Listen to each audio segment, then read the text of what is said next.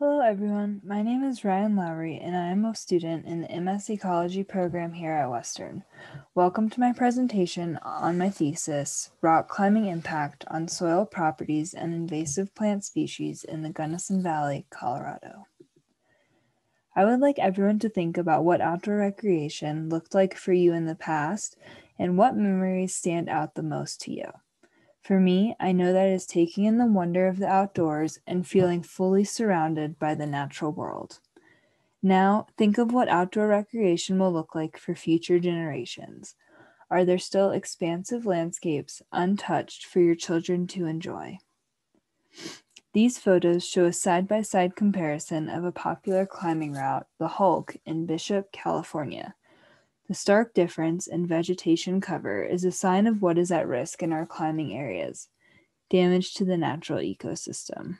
This damage needs to be stopped now for the sake of our future planet. But what is the extent of this harm for rock climbing areas? And what does this damage look like here in the Gunnison Valley? Rock climbing is growing at an incredibly fast rate, roughly 12% per year. While most of this growth comes from indoor climbers, as more and more climbers venture outside, more impact can occur to our beloved climbing areas.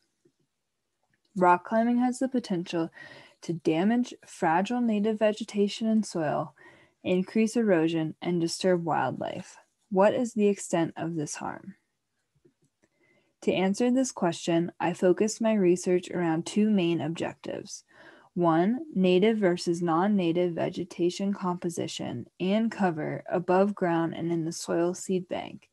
And two, general soil health, such as gravimetric moisture and bulk density.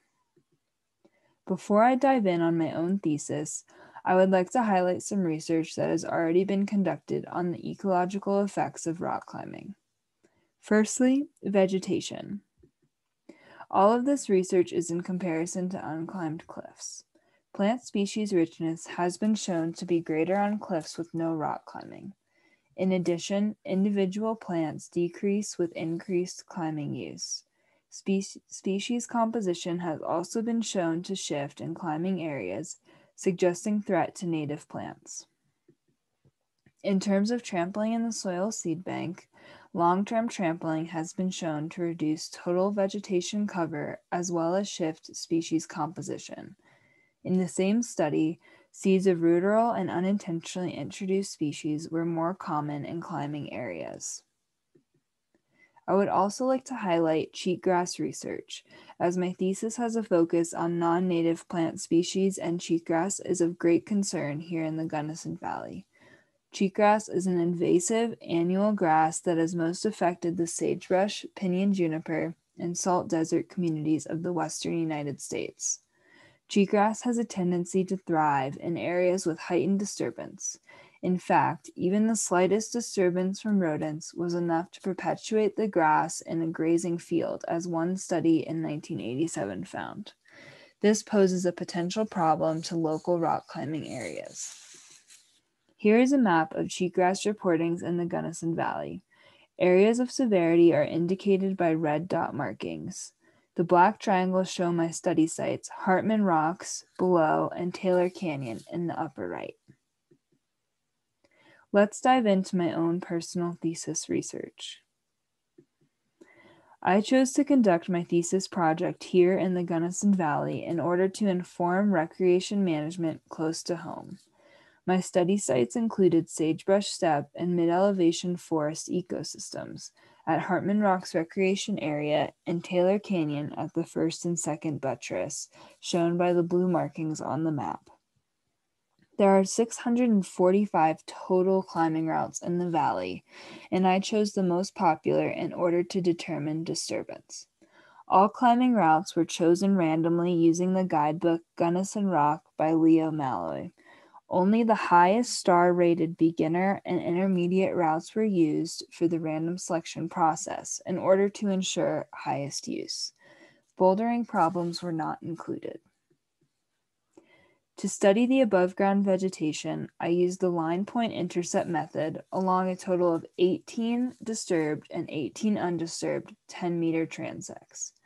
Disturbed transects were laid out a half meter from the cliff base, and undisturbed transects were placed 10 to 15 meters away.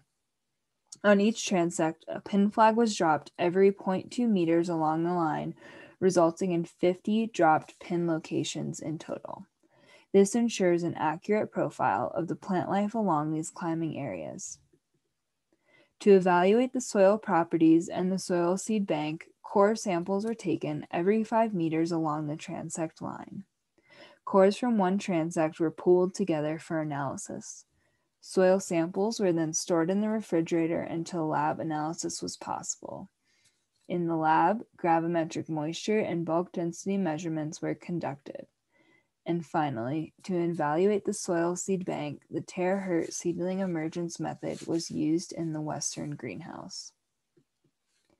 To conduct the seedling emergence study, samples were washed through a coarse and fine sieve after lab analysis. These washed samples were then poured onto individual transect trays of steam sterilized potting soil. Six trays of the steam sterilized soil stood as controls. Trays were exposed to 24 7 artificial light as well as natural sunlight coming in from the greenhouse windows. In order to avoid differences in sunlight exposure, trays were rotated weekly. In addition, watering was done every other day. Once seedlings were able to be identified, they were counted and removed. Now that I've explained my thesis methods, I would love to share my results. A total of 27 species were, in, were recorded in this study, four being non native. This includes cheatgrass, common dandelion, crested wheatgrass, and scentless chamomile. While there was no difference in total above ground vegetation between disturbed and undisturbed areas, graminoids and shrubs were significantly more impacted in disturbed transects. Also, in an exciting result, there was no significance between the presence of these non natives in disturbed transects in comparison to the undisturbed. This box plot shows the percent composition of species in both sites.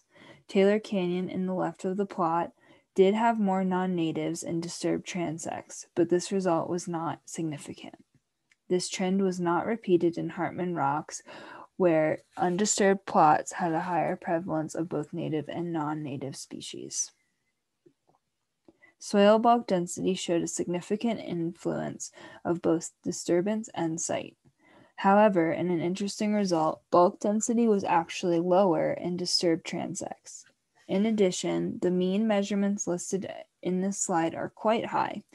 In sandy soils like these, bulk density greater than 1.8 grams per centimeter cubed has been shown to reduce plant root growth and inhibit water and airflow.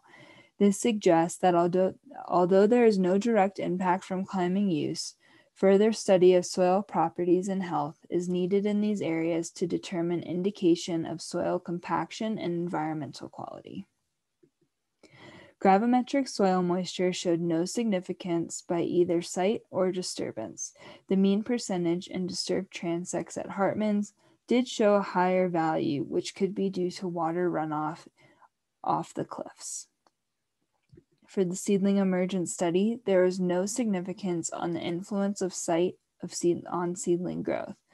Overall, disturbed transects had significantly more growth on all of the species except for one unidentified forb. This included the non native species cheatgrass, common dandelion, and scentless chamomile. The future of rock climbing areas depends on mitigation based on science. In order to preserve rock climbing areas, management plans need to be designed and implemented effectively.